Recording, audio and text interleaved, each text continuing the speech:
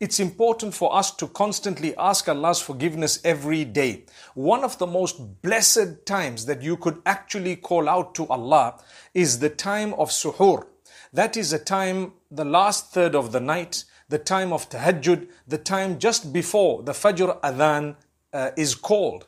And at this particular time, the hadith says, ينزل الله تبارك وتعالى إلى السماء الدنيا كل ليلة حين يبقى ثلث الليل الأخير فيقول هل من تائب فأتوب عليه وهل من مستغفر فأغفر له وهل من سائل فأعطيه Allah Almighty descends to the lowest heavens in a manner that is befitting His majesty and He calls out when the last third of the night remains he calls out saying, Is there anyone seeking forgiveness that I may forgive him?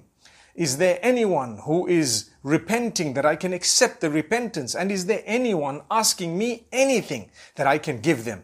Now, the good thing about Ramadan is we're mostly awake at the time for suhoor in order to eat the pre-fast meal. And that time we don't realize that actually we should be also seizing the opportunity to do two more things.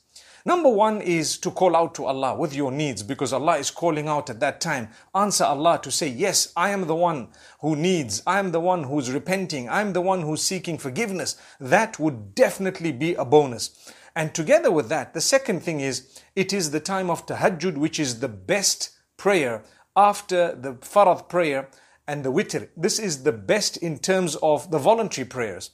And the Prophet ﷺ used to read it quite regularly if you were to look at what you can do to earn the pleasure of Allah, He mentions in the Quran, in Surah Al-Sajdah, تتجافى جنوبهم عن المضاجع يدعون ربهم خوفا وطمعا ومما رزقناهم ينفقون Allah speaks of those men and those people who liven up their homes with the remembrance of Allah and those whom Allah loves, one of their qualities is their sides forsake their beddings at night.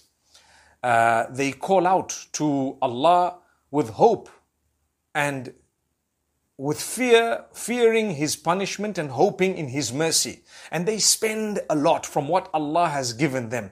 They spend in good causes. They look after people. They take care of the needs of others, financial and monetary and Allah takes care of them.